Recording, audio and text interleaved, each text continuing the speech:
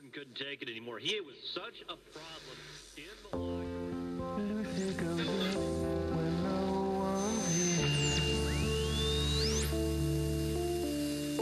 She picks up the phone, believing all the things she'd like to hear. Tja, du lebst nur für sie. Bist du auch bereit, für sie zu sterben?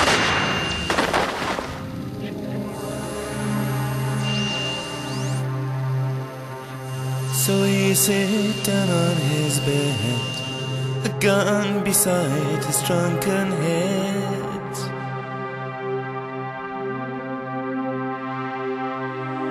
Cause there's no better way to do to find her lies behind his truth.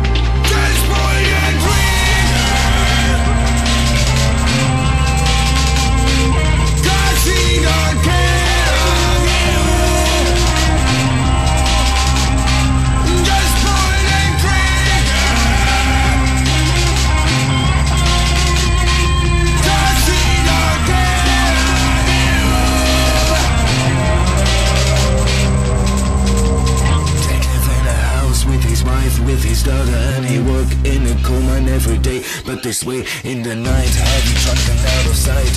He had a plan, he wanted to make them understand How it feels to be